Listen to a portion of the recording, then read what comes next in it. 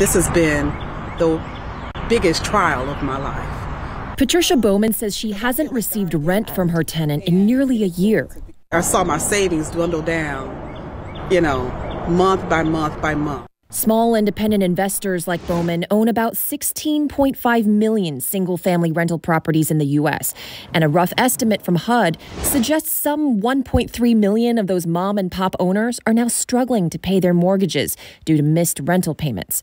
With the CDC moratorium on evictions during the pandemic, Bowman was stuck, unable to evict the tenant, but she finally got a court hearing in early February. Ms. Bowman, judgment is in your favor for $7,650 plus court costs. A judge in DeKalb County, Georgia, did order the tenant out in seven days, with one catch. After the writ has been filed, will the marshals still come out to actually do the eviction? They will once the moratorium has been lifted by the CDC.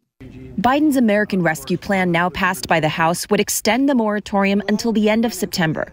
Her tenant hasn't left since the judge ordered him out, and this means he could stay in her house for another six months, even if he continues to not pay rent. It's been like a perfect storm of events that have that have happened, you know, and where I feel like now that um, you know I am in jeopardy of losing my own residence.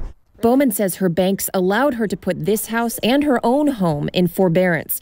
That means her mortgage payments may be on pause, but she'll still owe the money later. She could apply for rental assistance herself now that landlords are able to directly submit for the aid approved by Congress in December, but they still need the tenant to sign off. I don't vote to pay for the rent. I don't I, I don't understand that. Tina Brown says her tenant hasn't been paying rent, all while Brown lost her own job during the pandemic, temporarily moved in with her mother, then finally moved into the basement of her rental property right beneath her non paying tenant. Being strapped financially, um, dealing with COVID, dealing with not knowing where you're going to live, and then also dealing with the possibility of losing your property, it's terrifying. But more help is likely on the way with the stimulus package passed by the House. If you're a landlord and you're at the point where you're extremely frustrated, which you have